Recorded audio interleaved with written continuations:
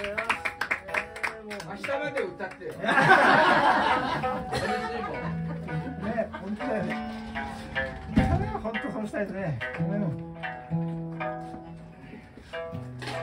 本当はこの上映会前に普通に飲みに行きたい、飲みに行くよってお風呂に言ってたんですけど、行く行く詐欺でね、行けなくてですね、もうなんて言うんでしょうかね、ライブは本当にたくさん今年もやらせてもらいまして、その中で、えー、僕はあの竹内幸三という78年前にフィリピンで戦死した若者の詩に曲をつけて歌ってるライフワークしてるんですけども今年も2回ほど彼の詩だけを歌うライブさせてもらってで実は江上監督が撮った僕らの映画っていうのもその竹内幸三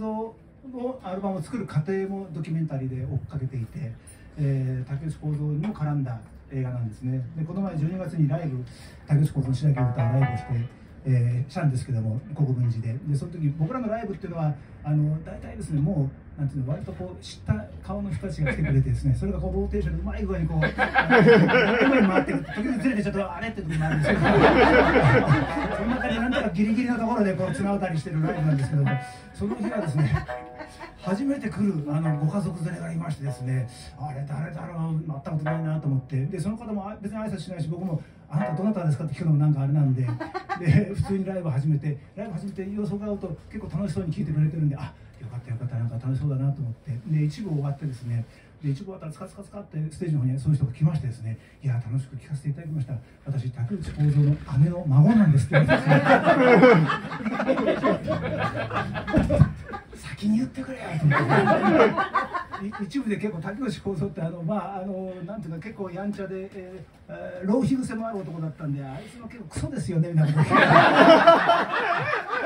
一部で結構言っちゃって。その後に言われたから急に。申し訳ない申し訳ない。一部で一部であの竹内幸三なんてなんか二部だと幸三さんが。さん付けになっちゃって。これもう本当に分かりやすい男な なのでそんな縁もあった1年だったので、えー、今日アンコール多分竹内もね、あのー、ここに来てくれてんじゃないかと思って竹内幸三の詩を、えー、アンコールに答えて歌いたいと思います、えー、メロディーは、えー、あのアイリッシュミニオをちょっとオマージュして、えー、作った歌です、えー、生きることは楽しいね。本当に私は生きている。三つ星さんという詩をアンコールで歌いたいと思います。今日は本当にありがとうございました。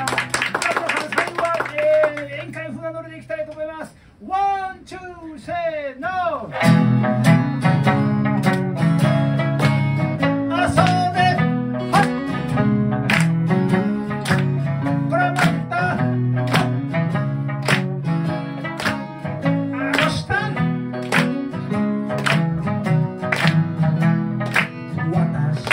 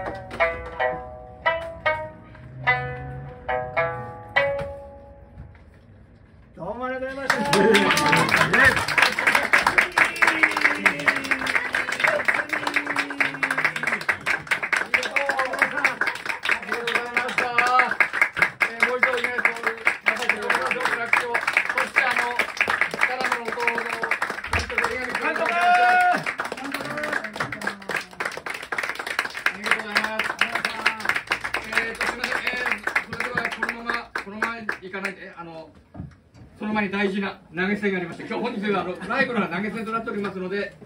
ぜひともよろしくお願いします。あの入れて